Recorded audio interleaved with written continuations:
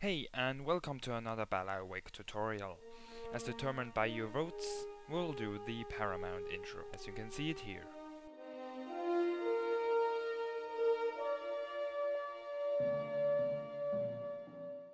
This tutorial is part of the new series of Make an Intro under 3 minutes.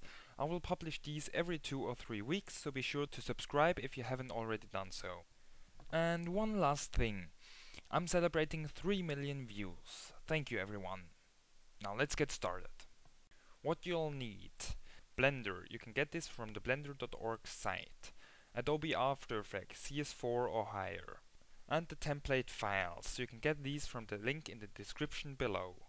You'll also need a computer, a mouse, a keyboard, a display, an IQ over 1. Remember, you can always buy the intro from my homepage if you do not have the expensive After Effects program. After you've downloaded the zip folder, unzip it, then open up the folder and open the paramount.blend file. Press the tab key, backspace this out and enter your desired title. Then press the tab key again. Now click animation over here. Now you can close Blender again and open up the After Effects file.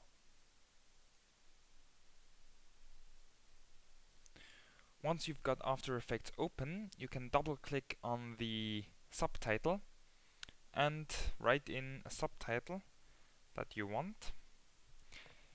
And then you can click Composition, Add to Render Queue, then click on Lossless here, check the audio output, click on Format option, and then click on DivX if you got it. If you haven't got the DivX codec, you will just render it with no compression and then encode afterwards.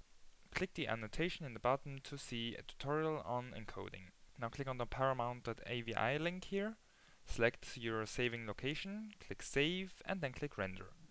Your intro will now render. This should take a few minutes depending on your CPU and then you're done. I hope you liked this tutorial and see you again in a few weeks. Bye.